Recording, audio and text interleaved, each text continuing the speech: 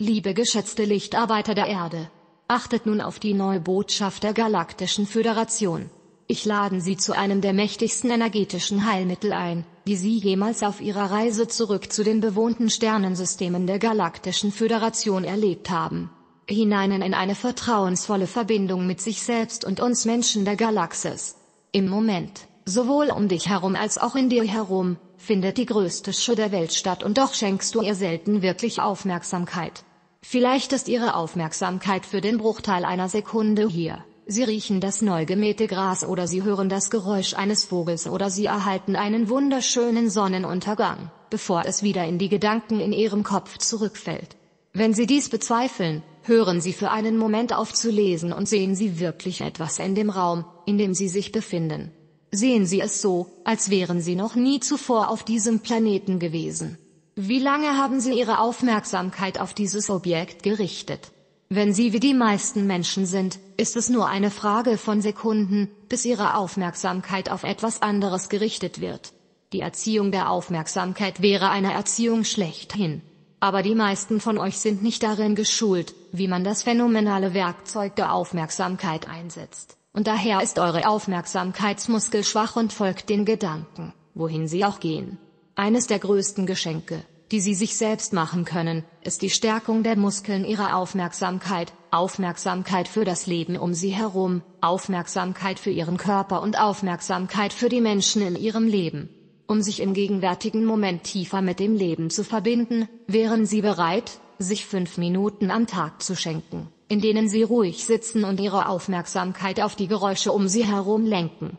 Das Summen einer Biene, das Rascheln der Blätter im Wind, die Regentropfen, die auf dein Dachfenster prasseln. In diesen kostbaren Momenten hören Sie die Musik Ihres Lebens. Machen Sie dies nicht zu einem Kampf zwischen Ihren Gedanken und Ihrer Anwesenheit. Während des größten Teils Ihres Lebens ist Ihre Aufmerksamkeit Ihren Gedanken gefolgt, wohin Sie auch gehen. Natürlich wird Ihre Aufmerksamkeit wieder auf das Denken gerichtet, aber beurteilen Sie das nicht. Lenken Sie einfach Ihre Aufmerksamkeit zurück auf die Geräusche und jedes Mal, wenn Sie dies tun, stärken Sie den Muskel Ihrer Aufmerksamkeit. Sie werden auch feststellen, dass es einen großen Unterschied gibt, ob Sie ein Leben lang anwesend sind oder ob Ihre Aufmerksamkeit in den Gedanken in Ihrem Kopf gefangen ist. Wir achten auch nicht auf unseren Körper und doch sind sie ein Feld unendlicher Weisheit und Freude. Stattdessen sind wir meistens zu Köpfen geworden, die auf unseren Körpern herumlaufen. Die meisten von uns hatten große Angst und waren beschämt, als wir jung waren. Was du unbedingt wissen solltest ist, dass die Galaktische Föderation und der Hohe Rat der Plejaden jetzt eine eindringliche Warnung herausgegeben haben.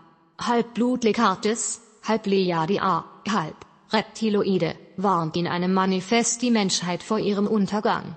Es handelt sich dabei um ein Gemeinschaftswerk von Vibes und Merksam. Den Link dazu findest du unter dem Video. Um zu lernen, wie man in unserem Körper lebt, müssen wir geduldig und sanft sein. Eine Möglichkeit, dies auf sichere Weise zu tun, besteht darin, Ihre Aufmerksamkeit auf Ihren Körper zu lenken, nachdem Sie morgens aufgewacht sind und sich immer noch in die Sicherheit Ihres Bettes gekuschelt haben. Wenn dies Sie anruft, finden Sie drei deutlich unterschiedliche Empfindungen, ein Kitzeln auf Ihrer Nase, einen kalten Fuß, eine Enge in Ihrem Rücken und erkennen Sie sie einfach an. Jedes Mal, wenn Sie dies tun, treten Sie einen weiteren Schritt zurück in die unendliche Freude und Freude, die sich aus der Freundschaft mit Ihrem Körper ergibt.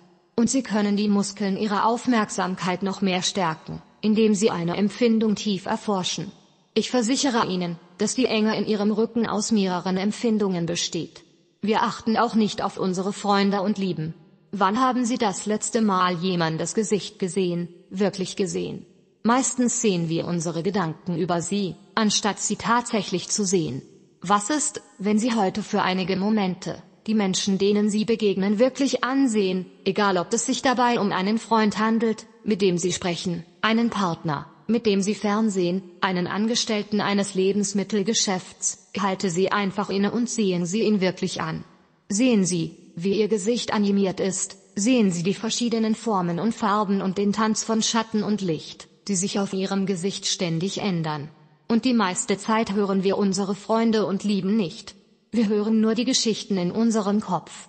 Wenn Sie das nächste Mal mit jemandem in einem Gespräch sind, laden Sie sich ein, einer Ihrer eigenen Geschichten auszusetzen und zuzuhören, sie wirklich anzuhören. Dies kann schwieriger sein als Sie denken. Es ist so einfach für uns, nur auf unsere Ansichten und Meinungen zu achten und sie dann möglicherweise in ein Gespräch einzubeziehen. Aber ich versichere Ihnen, eine der mächtigsten Möglichkeiten, Heilung in eine Beziehung zu bringen, besteht darin, wirklich jemand anderem zuzuhören. Sie mögen völlig anderer Meinung sein als das, was Sie sagen, aber Magie geschieht, wenn wir gehört werden, denn wir alle sehnen uns danach, gehört zu werden.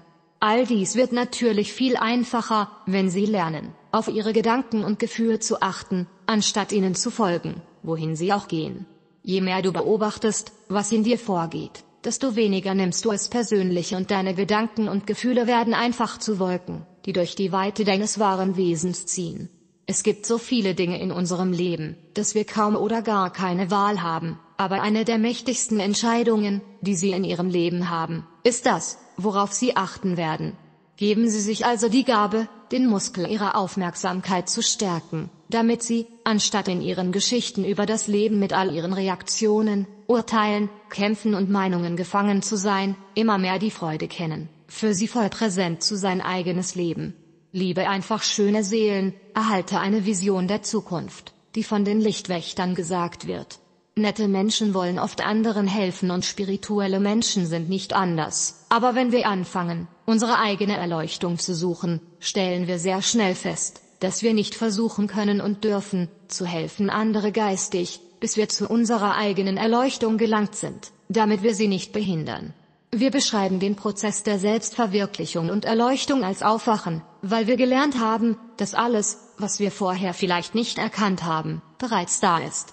Wir alle funktionieren normal mit unserer eigenen Perspektive, geboren aus unseren eigenen Bedürfnissen und kultiviert durch unsere Handlungen und Überzeugungen während unseres gesamten Lebens. Wenn wir irgendwann anfangen, über unsere spirituelle Seite nachzudenken, erkennen wir schnell, dass die Grenzen um die Ideen, die wir von uns selbst haben, nichts anderes als imaginäre Zäune sind, die wir in unserer Psyche errichtet haben, um die Idee zu schützen und aufrechtzuerhalten. Wer wir sind Augen anderer. Wir verkapseln uns als etwas und jemanden, dem wir uns präsentieren und in der Welt funktionieren können, und machen normalerweise den Fehler zu glauben, dass wir die Tat sind. Mit der Aufmerksamkeit werden diese Missverständnisse durch die Feuer unseres eigenen Bewusstseins abgebaut und entzündet, was dazu führt, dass sich unsere Perspektiven erweitern. Mit einer weniger eingeschränkten Perspektive fühlt sich das Leben anders an. Wir fühlen uns realer und wir beginnen leicht, die Befleckungen anderer zu erkennen. Ohne eine sehr reife Demut in unserer Moral oder eine sehr scharfe Intelligenz wird sich das Ego für eine Weile aufblasen, wenn wir uns im Licht der Erkenntnis ahlen, anstatt zu beobachten, dass Erkenntnisse immer mit uns geschehen und nicht durch unser eigenes Tun.